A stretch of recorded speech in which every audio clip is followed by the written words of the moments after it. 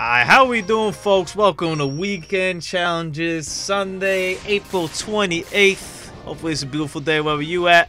It's a beautiful day over here in Newark, New Jersey.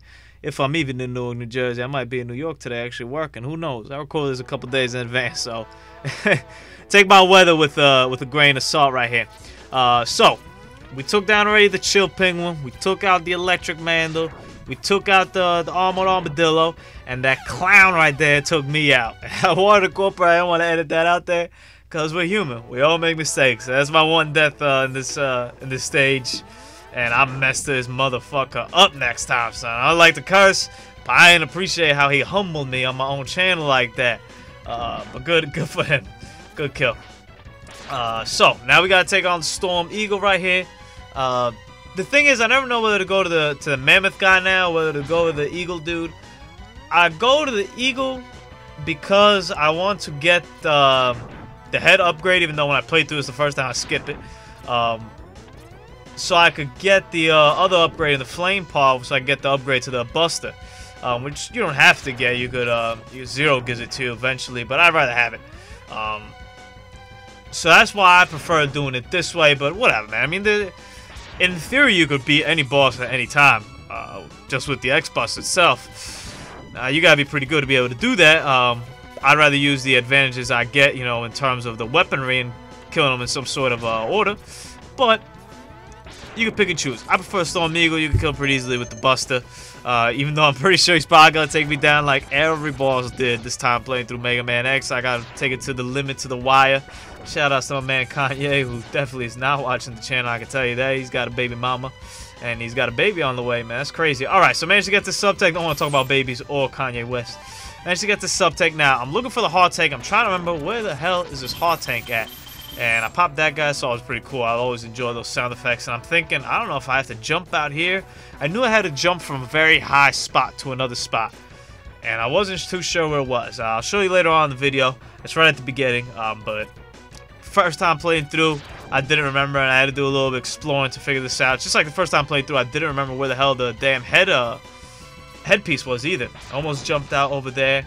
Uh, you know, these platforms, they're pretty simple, especially compared to the stuff that we've been through in Mega Man games in the past, you know, like Mega Man 2, Mega Man 3, though, that kind of platforming I'm talking about.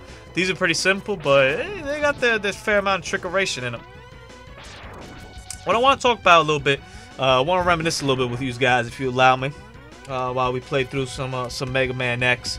Uh, I was thinking about this the other day uh, when um, when I was thinking about what next game or game I'll do uh, further in the series, you know, the, of this uh, kind of let's play, let's talk uh, series. This guy just respawned it. Come on, man.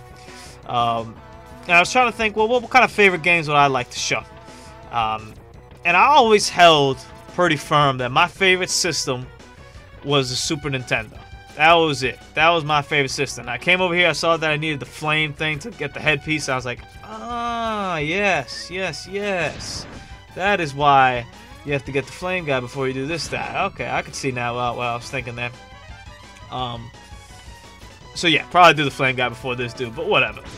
With the powers of editing, I'll show it to you all in end.